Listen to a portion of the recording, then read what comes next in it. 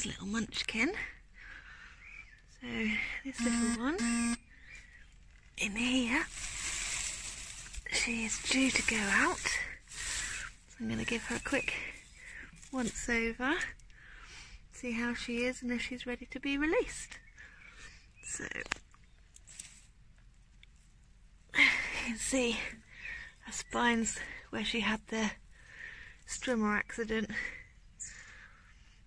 have um, are still broken off, but she's she's got some that are growing through, so that's good.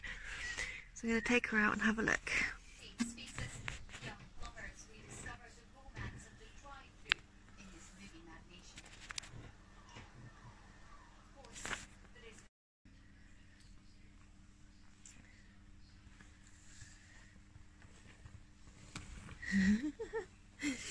I'm trying to hide.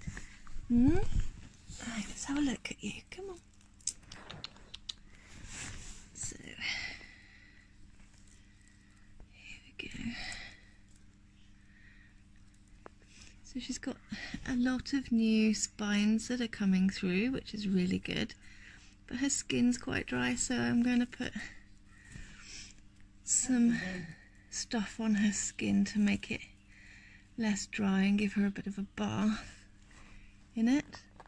Her skirt's all fine, so that's all okay. So she's not got any mites or anything that we need to worry about. No ringworm to see, which is good. She did have a little bit of ringworm before.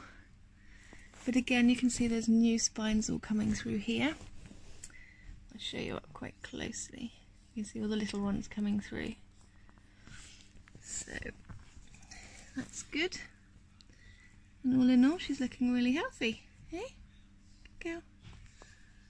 She reacts fine. She balls up fine. Hello. Hello, Mrs. I'm just giving her a bit of a wash off. I've done tepid water so it's not quite so bad for her. And I'm just finishing just washing her off. And then I will spray her with some of the skin stuff that we have. And then she'll be all good to go. Good girl, well done. I'm going to get you dried off. Hmm?